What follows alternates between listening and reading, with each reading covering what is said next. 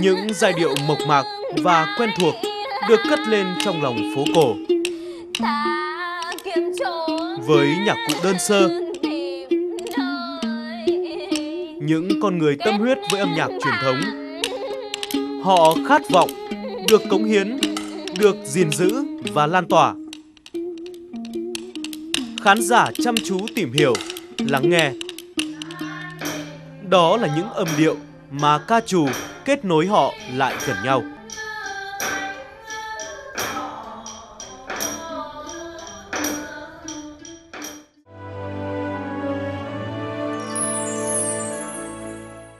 Chào mừng quý vị và các bạn đến với chương trình Net Việt Story. Thưa quý vị, ngày hôm nay thì câu chuyện mà tôi muốn giới thiệu đến quý vị và các bạn đó chính là câu chuyện về việc gìn giữ những nét đẹp văn hóa truyền thống trong nghệ thuật ca trù.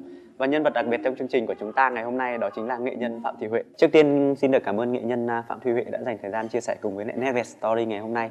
Để bắt đầu cho câu chuyện của chúng ta ngày hôm nay thì à, nghệ nhân Phạm Thị Huệ có thể chia sẻ một chút về loại hình nghệ thuật rất là độc đáo ca trù tới quý vị khán giả truyền hình để cho mọi người có thể hiểu hơn về loại hình nghệ thuật này được không ạ? Ca trù là một bộ môn nghệ thuật uh, có từ khoảng thế kỷ thứ 11 và nó phát triển rực rỡ khoảng thế kỷ thứ 15. Đây là một bộ môn nghệ thuật mà phục vụ cho uh, giới thượng lưu, đặc biệt là các nhà thơ, giới trí thức, những người giàu có, những người yêu âm nhạc thơ ca và đây cũng là một môn nghệ thuật kết hợp giữa thơ ca và âm nhạc. Có thể nói là uh, nghệ thuật bác học hay là uh, nhạc thính phòng của âm nhạc Việt Nam.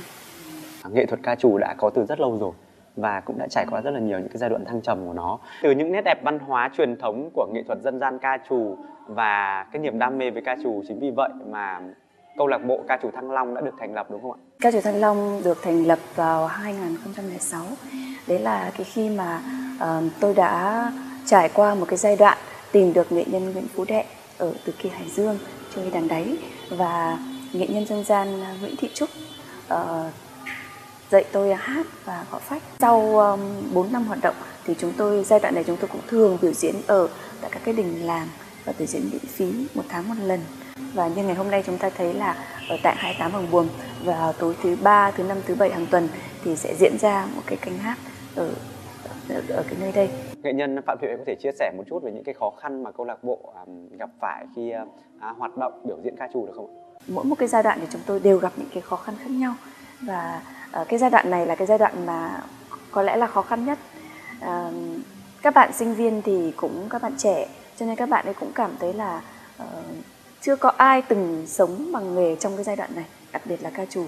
Lúc đấy cái giai đoạn đấy là ca trù vừa mới được UNESCO công nhận vào 2019. Vậy thì 2010 là các bạn đi ra trường và nó quá mơ hồ nếu như các bạn ấy tin tưởng rằng môn nghệ thuật này có thể nuôi sống các bạn ấy và thú thực là đến ngày hôm nay chúng tôi cũng chưa sống được bằng nghề.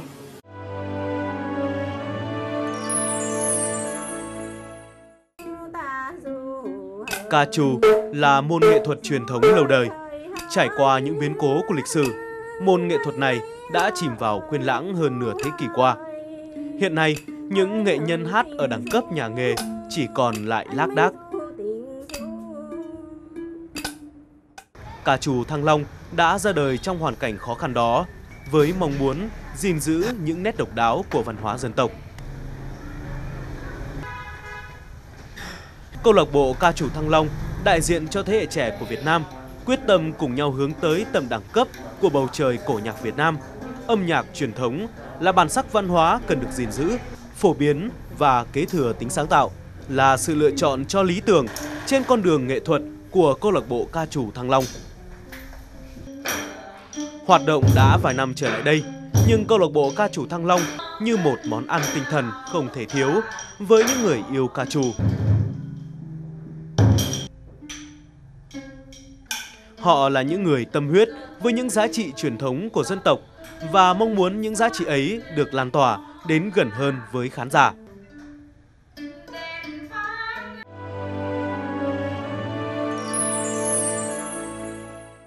Như tôi thấy thì à, trong nghệ thuật hát ca trù thì nó có rất là nhiều những loại nhạc cụ khác nhau nữa. À, chị có thể chia sẻ với lại khán giả truyền hình về những loại nhạc cụ này được không ạ? Vâng, như chúng ta thấy là đặc biệt trong ca trù thì à, thường thường là thấy có ba người. Ở trong đó thì có hai người là nhân vật chính và hai người chính là nghệ sĩ biểu diễn. à, một nhân vật chính đó là ca nương ca nương thì à, vừa phải hát nhưng mà lại vừa là một nhạc công sử dụng bộ gõ đấy chính là cỗ phách cỗ phách ở trong ca trù cũng rất là đặc biệt như là một chỉ huy dàn nhạc kết nối giữa trống đàn hát và phách. À, nhạc cụ thứ hai đó là cây đàn đáy. Cây đàn này cũng chỉ có ở trong ca trù và cũng chỉ có ở Việt Nam.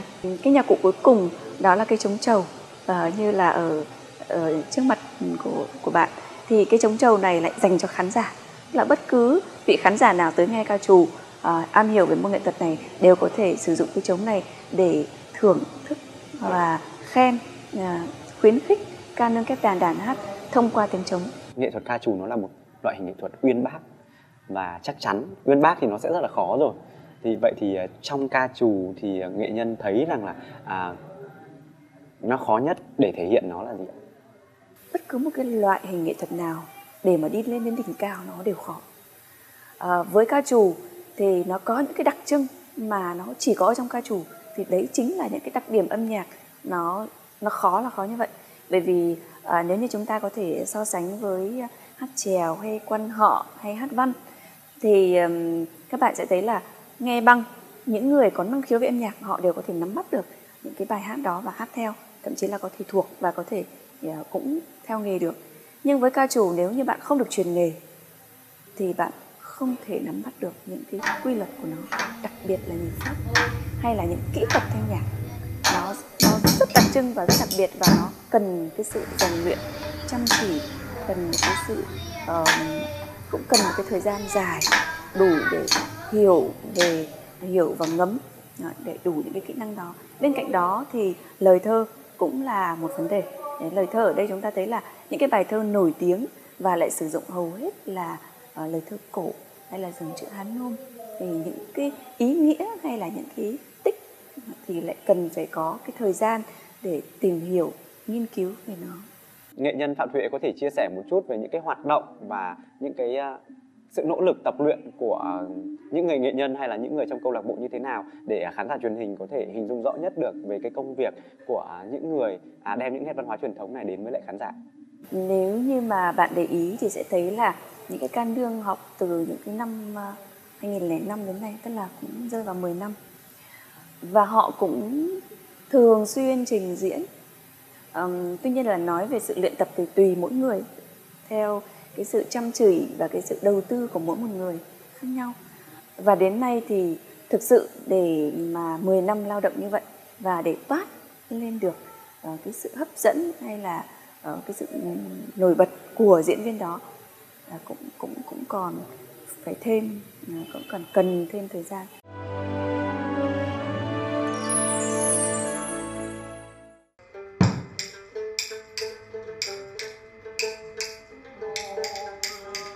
Có thể thấy, ca trù hiện nay đã được nhiều người quan tâm hơn và đặc biệt, loại hình nghệ thuật dân gian độc đáo này còn được nhiều nơi, nhiều vùng miền trên đất nước Việt Nam vẫn còn lưu giữ, phát triển như một tín hiệu mừng trong dòng chảy văn hóa.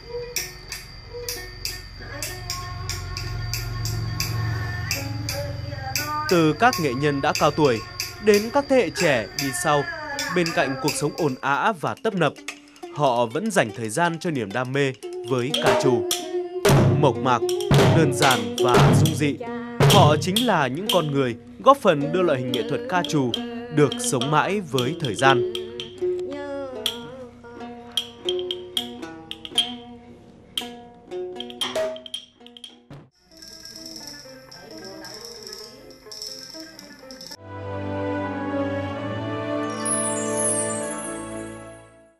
Với nghệ nhân phạm thị huệ thì không biết là nghệ nhân đã biết đến ca trù từ năm bao nhiêu tuổi và điều gì từ nghệ thuật ca trù khiến à, nghệ nhân lại có một cái niềm đam mê nó đến như thế ạ? Tôi thì biết đến ca trù từ năm 1992. Ờ, đấy là một cái lần vô tình mà tôi có một cái, uh, cái cassette, cái băng cassette của nghệ nhân Quách Thị Hồ trong tay. Thực sự là lần đầu tiên khi nghe thấy cụ hát thì tôi bị bị bị choáng vì tôi không không không thể hiểu được những cái ngôn từ trong đấy cũng không thể hiểu được cái âm nhạc ở trong đấy. Đàn đáy cũng vậy. Ừ, lúc đấy tôi cũng đã là à, một sinh viên của nhạc viện hà nội ờ, cũng đã dành ờ, uh, 10 năm để học về âm nhạc truyền thống Việt Nam cũng đã tìm hiểu về rất nhiều các cái loại âm nhạc khác nhau âm nhạc truyền thống Việt Nam khác nhau. Uh, nhưng mà tôi lại không thể nắm bắt được thì đấy chính là cái điều mà khiến cho tôi cảm thấy rất là tò mò. Và cái mơ ước của tôi lúc đấy là có thể học được nó. Và tuy nhiên là tôi cũng phải chờ tới tận khoảng những năm 2000 thì mới gặp được nghệ nhân dân gian Nguyễn Thị Trúc và tôi nghĩ rằng đấy là một cái sự may mắn vô cùng. Vậy thì ngày hôm nay thì trong một cái không gian à, rất là thiêng liêng như thế này à, một cái không gian rất là cổ kính nữa thì um, tôi cũng muốn uh, học một chút về cái nghệ thuật ca trù để xem là nó có cái sự khó như thế nào. À, nghệ nhân có thể sẵn lòng là chia sẻ và dạy tôi một chút được không à, vậy thì bây giờ tôi sẽ hát thử um, một cái đoạn của bài đào hồng đợt tuyết. Thế sau đó thì bạn sẽ hát lại nhé. Hồng hồng tuyết tuyết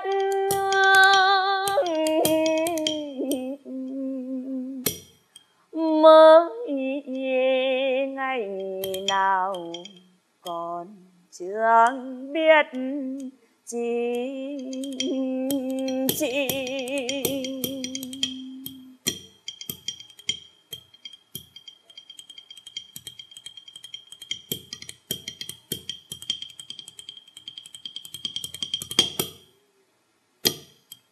Mười lăm năm thăm thoát có xa gì?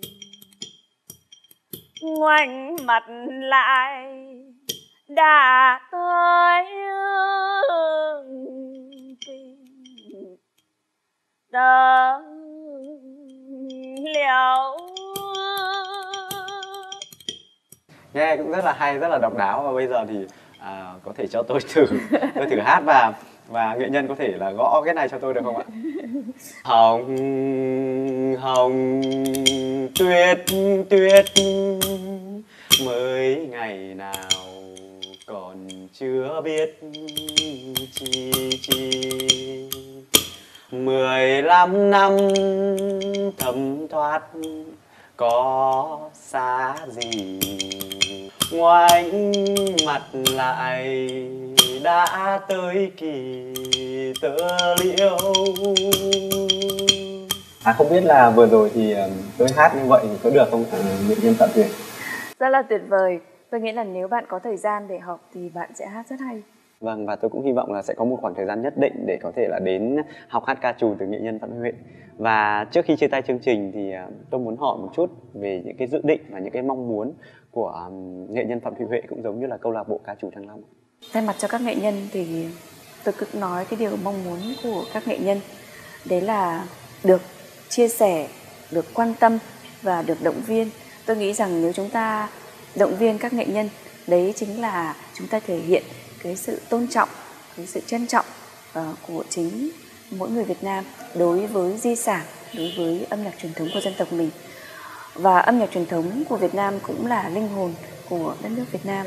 Nếu như người dân yêu âm nhạc truyền thống thì cũng sẽ yêu đất nước mình à, tôi mong muốn là uh, trong tương lai gần thì uh, di sản ca trù sẽ trở thành một cái um, bộ môn nghệ thuật tiêu biểu của nền âm nhạc truyền thống Việt Nam uh, xây dựng được cái nét đẹp văn hóa truyền thống của người Việt Nam và những người nghệ sĩ yêu môn nghệ thuật này có thể sống được bằng nghề. Vâng, một lần nữa rất là cảm ơn nghệ nhân Phạm Thùy Huệ ngày hôm nay đã dành thời gian chia sẻ cùng với chương trình Net Việt Story. Và tôi cũng hy vọng rằng với những niềm đam mê và những cái cống hiến của các nghệ nhân cũng giống như là câu lạc bộ ca trù thì à, khán giả trong nước và ngoài nước sẽ biết đến nhiều hơn với loại hình nghệ thuật độc đáo này.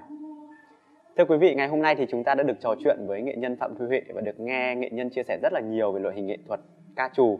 Đến đây thì thời lượng của chương trình Net Việt Story cũng đã kết thúc. Xin kính chào và hẹn gặp lại quý vị trong những chương trình tiếp theo.